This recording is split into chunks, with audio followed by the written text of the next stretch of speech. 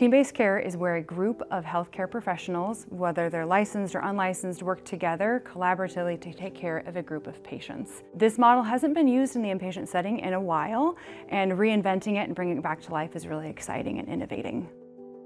I personally love the team-based approach because you are never alone.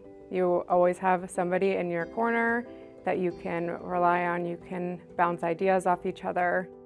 The team consists of typically an RN, an LPN, and a nursing assistant. It could include other people, such as um, a paramedic or a virtual nurse, but the team really works together for each individual patient's needs. A day in the life of team-based nursing really starts with the mentality that these are our patients, not just my patients. In the team-based model, it, we can really focus on each other's strengths. For example, one member of the team really enjoys doing wound care, another member of the team would prefer to do medication administration, that would be an opportunity for the team to collaborate and complete those tasks. You can take a break and not feel guilty or that your patients may need something while you're gone. You truly have your team as your backup and, and helping you you know, take that moment that you need. You know, you never stop learning as a nurse, and in this model, it's really pulling people's ideas together, building up your skills and your knowledge every single day.